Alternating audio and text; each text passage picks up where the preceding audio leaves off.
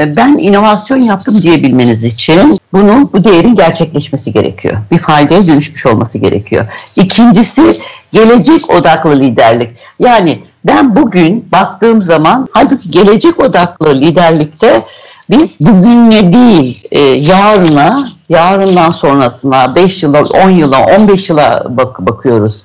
Öyle bakılması gerektiğini inanıyoruz. İnovasyonu yönetebiliyorum diyebilmek. Üçüncüsü stratejik yönelim.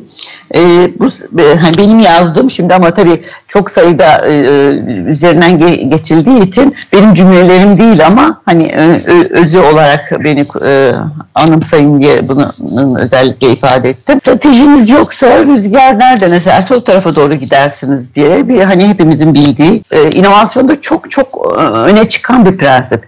Yani siz teknolojik trendlere siz ekonomik trendlere, siz siyaset trendlere, eğilimlere bakarak kendi geminize, kendi e, vatanınıza, kendi şirketinize, kendi hayatınıza bir stratejik yönelim. Dördüncü prensip kültür. İnovasyon kültürü çok çok önemli. E, kültür e, çok yerel, çok e, özel bir şeydir.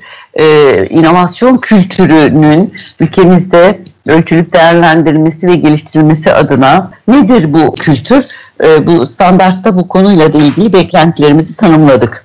E, dolayısıyla burada bunu prensip olarak söylediğimiz için de standartta da buna bir çerçeve çizdik. E, gelecek için öyle bir şey ki bazı, çok ciddi risk almanız gerekiyor. Belirsizliği yönetmek de bununla alakalı bir konu ve yapılara e, uygunluk. Sizin yönetim sistemlerinizi entegre bir yapıyı önerdik bu standartta. Ya bana e, genellikle 5 yıldır hep ben işte inovasyon standartını çalışıyorum dediğim zaman inovasyonun standardı mı olur gibi böyle sorular. Ee, şimdi e, ben de diyorum ki hani 20 yıldır ben bu ülkede kalite yönetim sistemleri alanında da çalışmalar yapıyorum e, hala kalite e, yönetim sistemini ürün kalitesi zannedenler var aranızda ne yazık ki. E, halbuki bir yönetim sisteminden bahsediyoruz. İnovasyon tabii ki her kuruluşun e, kendi dinamiklerine, kendi ürün özelliklerine veya e, hizmet özelliklerine göre değişebilir ama biz bu yönetim sistemiyle ilgili bir standarttan bahsediyoruz. Sizin mevcut kurumlarınızın içerisinde var olan e, bir kalite sisteminiz, bir insan kaynakları yönetim sisteminiz, bir bilgi güvenliği yönetim sisteminiz, bir enerji yönetim sisteminiz ne varsa yönettiğinizi iddia ettiğiniz e, inovasyon yönetimi bunlara adapte olabilir bir yapıda. O farklı bir şey değil.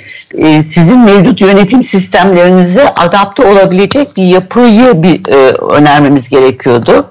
E, son e, şey, prensibimiz de sistem yaklaşımı doğal olarak e, hani öyle tek bir unik bir e, tek bir uygulama içinde değil sistematik birbirini besleyen birbirine destek olan yapılar bütünü.